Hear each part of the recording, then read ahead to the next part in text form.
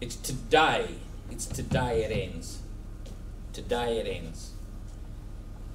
In our region over the last couple of years, we lost Miss Dhu under some extraordinary circumstances. We had two people in this town run Aboriginal people run down by a non-Aboriginal person who ran off the road and run them down and got four years jail, two years jail for each. We now have Joyce Clark.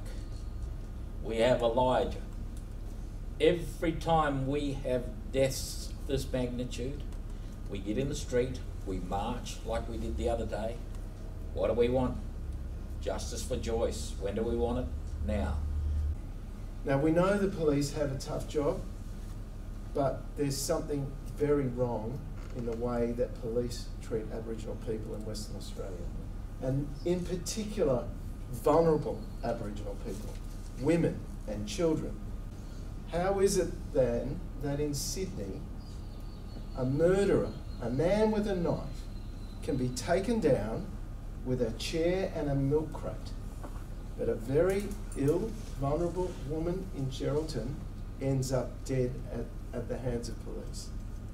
You have to compare and contrast what happened in Geraldton to what happened in Sydney by non-professionals. You know, they weren't even trained, but they managed to subdue an armed, violent murderer without killing him. And yet in WA, a vulnerable 29-year-old woman ends up dead. Now, Joyce's death should not be in vain there needs to be an urgent review and reform of the protocols and training of police in these situations. There needs to be a focus on de-escalation in situations of mental health crises. And as um, Sandy's mentioned earlier, it should be health workers who are first responders in medical crises, not police, who are not equipped and trained for those situations. She died at the hands of a police officer who fired uh, a gun, discharged a bullet, and her life was lost. There's the principle of proportionality. There's the principle of proportionality, and those protocols that actually align the principle of proportionality need to be understood. There was no reason for that police officer to pull a gun and discharge that gun. She wasn't carrying a firearm. The principles of proportionality should uh, not permit anyone to pull a firearm, a police officer, uh, if there isn't a firearm in possession of the individual. That needs to tighten up the protocol to the point that that discretion is removed. That discretion doesn't remain to allow for rogue behaviour.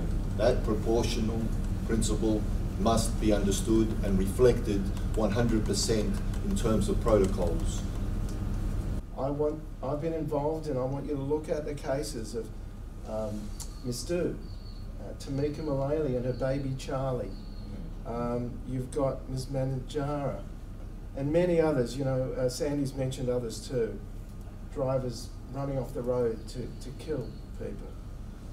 In the Gascoyne Murchison Midwest region in 2019, we had seven suicides, one as young as 12, and of those seven, two have happened in the last six days. We've had the police shoot uh, a woman attending a non-criminal uh, incident. Uh, so that gives us eight uh, deaths that take us to the level where we are today. The reason we have in this press conference, thanks to Gerry Georgatos, is that we want to have it in Chiltern to highlight what's happening in our region uh, or more to the point, what's not happening in our region compared to other regions in Western Australia. It would be a safe bet to say that we have the highest rate of suicide in the state this calendar year, by far. Yet we haven't seen a state government minister or a federal minister, we haven't seen state government departments or federal government departments to address this issue. We want the federal, uh, the state government to now start rolling out uh, funding for services for after hours call. At the moment, between the hours of 4.30 in the afternoon and 8 p 8 a.m. in the morning, the police are the only respondents that we can call. Whether it's a criminal matter, whether it's a non-criminal matter, we need to have other departments who have 24-hour services. It's not new. It's not new.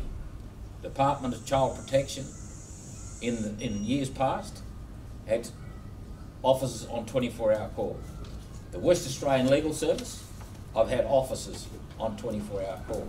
And one might ask, uh, why does the Aboriginal Legal Service do that now? Well, I think Dennis will answer that by saying, well, talk to our funding agencies, right?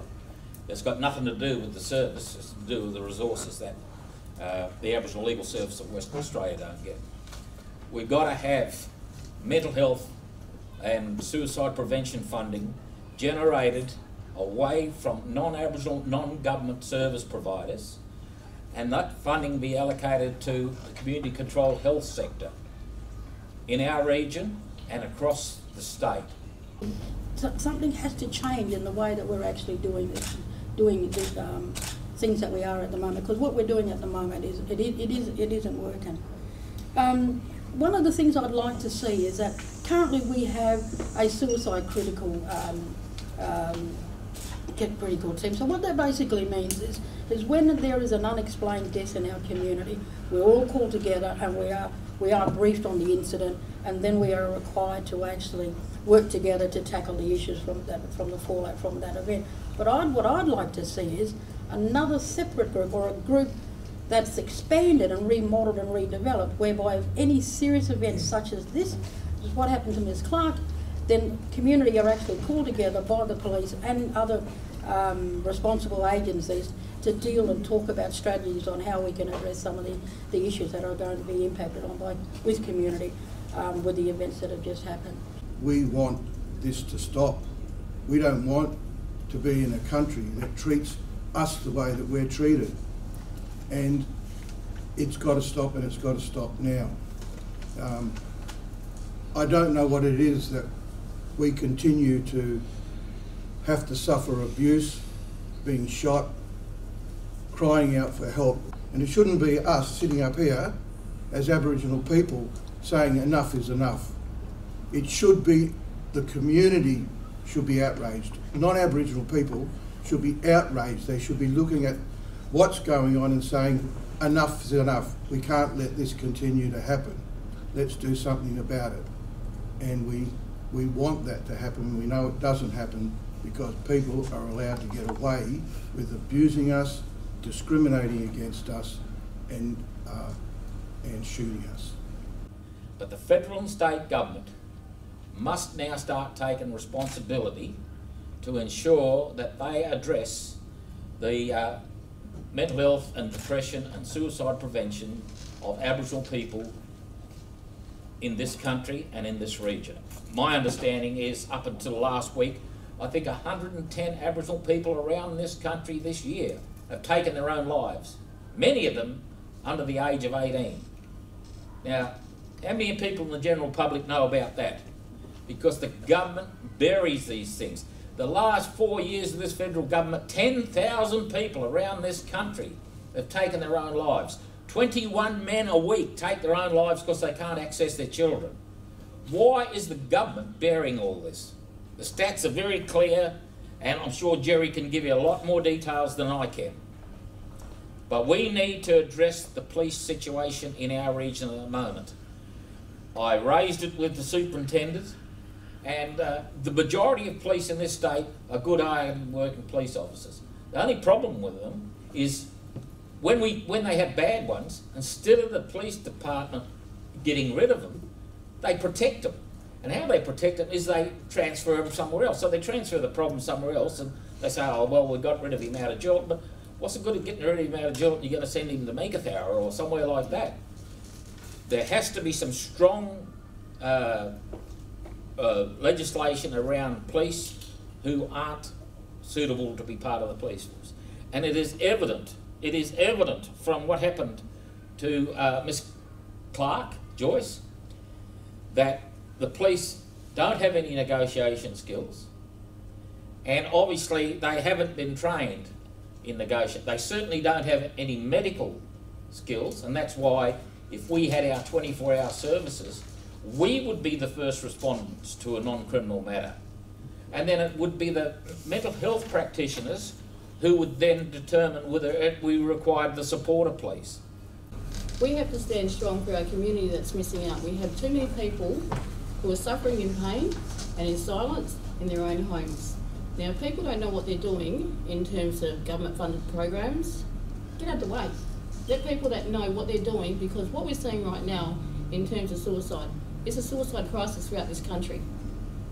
Now, for every suicide, there's 70 attempts. So what's happening to the, to the people that aren't getting that service where there is that un- unaddressed trauma? That is beyond the joke. Now, working at the coalface every single day, and you hear the hardships, and it's a poverty narrative. The other thing too to remember is that mandatory sentencing laws. I'd like to talk about that for a moment. Mandatory sentencing law is further creating hardships with our people. It's taking away the discretion of the judges, the magistrates, not taking into account the personal circumstances of the individual that's coming into contact with the criminal justice system, hence their high incarceration rate. When does it stop? The incarceration rate, housing, we're looking at children being removed from care. It is unprecedented right now.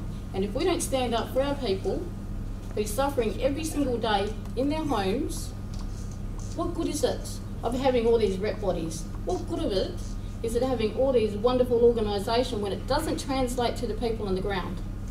That's a problem. We see this group getting paid, this group getting funded, this group getting funded, but it is our people where it's a poverty narrative that are missing out and that don't reap the, result, re, uh, the rewards. They give, just recently, this federal government give $22 million, an additional $22 million to four research agencies around this country based on suicide prevention and suicide. When are we going to actually start delivering the services? We don't see those reports. We don't know what's contained in them. I understand there was a report done recently uh, that the government hadn't even read the 60 recommendations, yet he's called for another uh, report. We are losing so many of our children. It is just, it's hard to comprehend. It's hard to comprehend. And there wouldn't, with the seven suicides that we've had in this region this year, there wouldn't be one Yamaji person in this region who isn't, isn't touched in some way or another. Not one of us. There's 8,000 of us. There wouldn't be one. The governments know all this. You know, the government departments. The government departments are burying this, and the reason they're burying it because their minister has allowed them to do it. They don't know how to deal with it, and they don't have the the the they don't have the expertise. They don't have the common decency to come and talk to those service providers in the community who can have the who have the solutions and can work with our communities. Where does the research end? Uh, where does the research end, and where does the service delivery start? That, that, that's all we want to know. And, and to further add to that, Sandy, so what we've had nationally is 70 odd reports. That equates to 1,400 recommendations. So what we know what the what the answers are. There's been enough consultation, but what we're not seeing is the money hit the ground to the people that need it most. There is an unmet need, and we need to address this. There's a whole issue about people sitting in their homes, and like I said earlier part, suffering in silence, no hope. We need to give people hope. Now, what happened last week or a couple of weeks ago here? That is absolutely catastrophic. It should have not happened. We should have had people like, like the guys were saying up here. It shouldn't have been the police that went to the house. It should have been someone like a service who can go in there. They're trained. They can de-escalate the situation. And we should have been helping this young one. And that's what we do on a daily basis with many of our people. Children have taken their lives in this country. The youngest suicides this year nationally are 12 years of age. But the youngest attempts, and that's six, that's six children. Uh, three of them in WA. So half those 12-year-olds, three of them are in WA. One a non-Indigenous child and, and two First Nations children. Shouldn't be, shouldn't be, shouldn't be imaginable, shouldn't be comprehensible, shouldn't be possible in this country. But W, but the youngest attempts, which are getting younger and younger, I've worked with two six-year-olds. I never thought that would ever be the day. Two six-year-olds who attempted, who actually attempted suicide, and I've just returned from somewhere that I won't identify, working with a seven-year-old child that attempted suicide, and he's been left with various impairment because of that. It's a crisis, and our state, territories, and Commonwealth governments need to own it. Not just make commitments, not just promise by the hour, but deliver by the minute. The custody notification scheme was a recommendation of the Royal Commission into Aboriginal Deaths in Custody nearly 30 years ago. And the fact that it's only being introduced into WA now is a scandal. And people have died as a result of not having a, a custody notification scheme.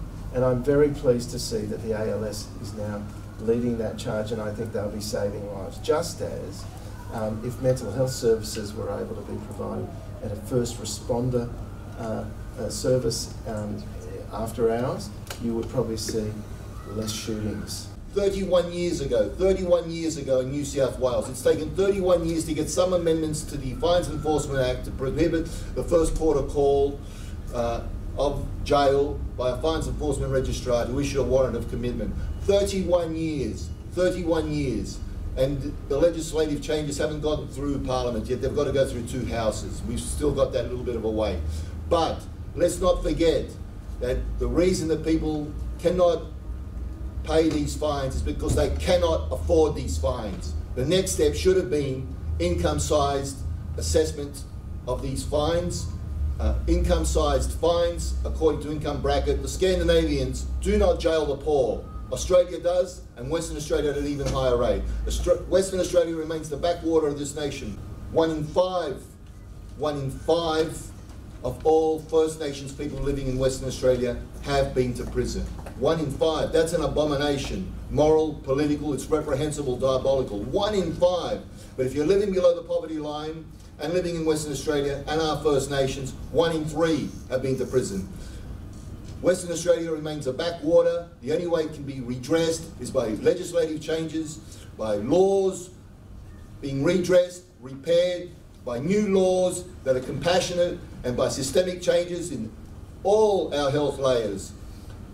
And that means, for the foremost, the one thing that I will argue above all others, in addition to primary, secondary, and allied health care, is that outreach workers are the major protocol of investment from here onwards. Outreach workers. You can't do things without an in-person support. You can't do things without an on-tap nature in terms of 24-7. Outreach, psychosocial expertise should have been at that door of that household of Miss Clark on that day. She would be with us here today and she would be supported here today. I'm going to make a comment that will be damning, not just of police but of society, because the police shouldn't have had to respond to that incident, to the distress of that household. Had I, or Megan Krakouer, or Sandy Davies, or Deb Woods been contacted to respond to that household, Miss Clark would still be alive today. Police uh, need to rebuild trust with the community or build trust with the community. From what Sandy tells me, there is no trust and there's never been trust. They need to reach out to communities and listen to what people like Sandy and Debbie and Dennis uh, have to say because they know what's good for their communities. But the police have a top down militaristic approach. They think they know better, and that's what leads to tragic deaths like Ms. Dhu, like Charlie Mullally, and like Joyce Clark. There needs to be reform of the laws that give police enormously broad powers, which are performed in a discriminatory and prejudiced way. You give police broad powers, and guess what? They are taking out their broad powers on vulnerable communities, and particularly Aboriginal communities in WA. There needs to be transparency and accountability. If you're going to build trust with Aboriginal communities, you need to have transparency. There's no hiding information from the community behind the coroner's inquest. People need to know what is going on and what happened as quickly as possible. Officers need to wear body cams, as, as Sandy suggested, and they need to be on all the time. They, there needs to be an independent inquiry into Joyce's death, not one undertaken by police. Aboriginal communities will not trust an inquiry if it's police reviewing the actions of police. It needs to be independent, and we'll be working with the family to ensure that there is accountability at all stages of this process. And like Sandy, we will not stop until there's change. If I just say one last thing, because I'm just reflecting on a young boy that died here in Geraldton several years ago. And I know it's still close at heart, the grief. His name, he was 10 years old, he was 11 actually, he was 11 years old, his name was Peter Little. Peter Little. He died needlessly. He died because of systemic failures. He died because our state government did not do all the things that we're actually asking of them today. So how many more young children, older individuals such as him, others, Miss Clark, is it going to take? I warned at that time that that young boy's mother was at risk, that that young boy's mother was at risk. Nine months later, his mum took her life. His mum took her life. The state government heard those calls and those cries and those warnings and those alerts from myself and from people, others like myself. Yet nothing was put in place. Miss Manglamara, 10 years old, died in Looma, a Kalumburu child that died in Looma on May 9, 2016. The services had failed her too, exactly the same as the services had failed the young Peter Little boy because the services weren't supported, didn't have the outreach, didn't have the capacity, didn't have the resources that only government can provide. So I don't forget young Peter Little. I don't forget. And young Peter Little was buried very close to Miss Dhu. And it's been said that the custody notification service was galvanised as a result of Miss Dhu's death on August 4, 2014. I received calls that day from both sides of the families, and it was a pronounced tragedy. It was an avoidable tragedy. It should never have happened. But in fact, the calls for the custody notification service began three years prior for Western Australia, three years prior. Had those calls been heeded, Miss Dhu would still be alive today. Miss Dhu was incarcerated or locked up in that police watch house because of unpaid fines. She would be with us today, as others who will be lost, most definitely, in the years to come, in the days, weeks, months, years to come, will be lost unless what we're calling for today is heeded.